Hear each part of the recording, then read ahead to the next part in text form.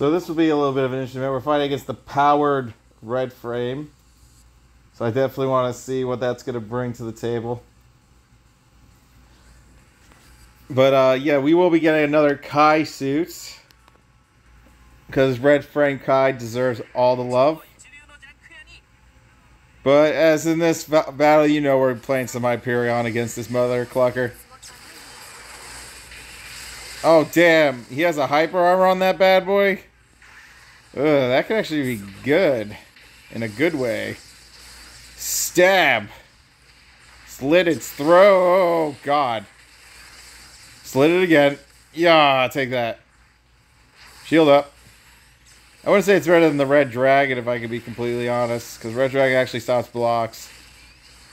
And this one does not. So Red Dragon's the way still as one of Kai's best mobile suits.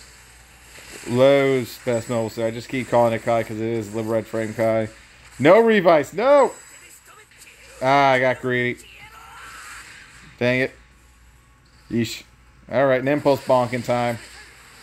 Bonk. Bonk. Bonk. See that combo? It's very easy to do. It's very effective against melee fighters. Because they can't hit you. They have to actually try to shoot you out of your armor. Bam. Skadoosh. Skadoosh. Enough of that. I go with customs out for blood. Nah, chill. Uh, well, he blew out my shield, I'll tell you that much. So congrats for that.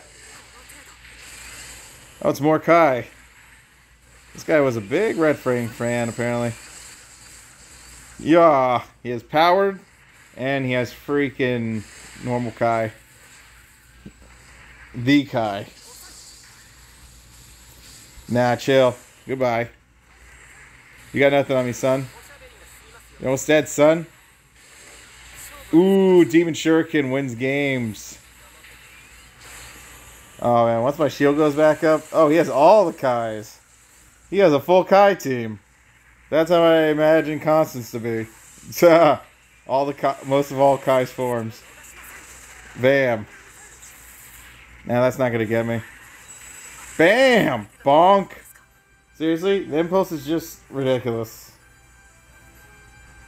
Like, honestly, such a really interesting F2P unit. Thanks for watching.